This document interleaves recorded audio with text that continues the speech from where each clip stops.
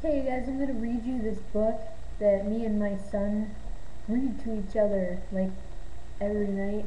It's funny. Um, it's the Pigeon series, and uh, I say it in a New Yorker accent. Like the pigeon has a New Yorker accent. it's really funny too. Um, bus, can't you just see me driving one? Train. Pigeon Express coming through. Airplane, Sharpie's flapping. Hot dog, hey, what's a big idea? A hot dog doesn't go. Does too. A hot dog can go right into my belly. Hmm, can't get enough. Check out these.